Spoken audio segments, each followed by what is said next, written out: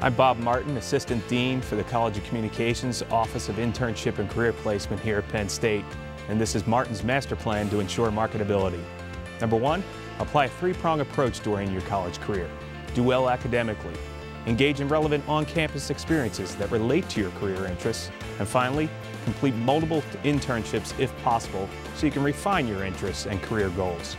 Number two, develop your Magic 10 Network with a minimum of 10 individuals during your college career, particularly during your senior year, that can have an influence on your career search.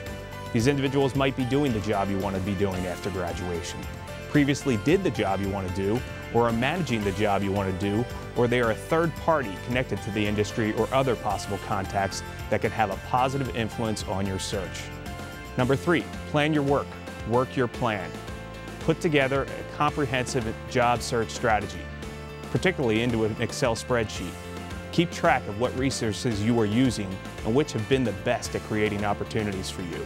Everything from industry-related websites to previous internship contacts to social networking websites like LinkedIn, Facebook, and Twitter should all be included.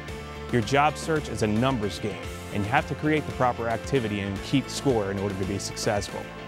Number four, approach key networks appropriately. Seek advice. I think that's a real soft sell approach, and you can't expect someone to recommend you for a position if you don't approach strong contacts appropriately.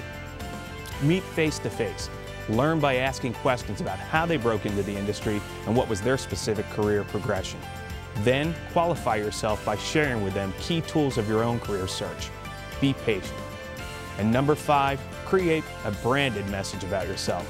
Include three things you want the prospective employer to know about you and that they take away relating to the prospective position.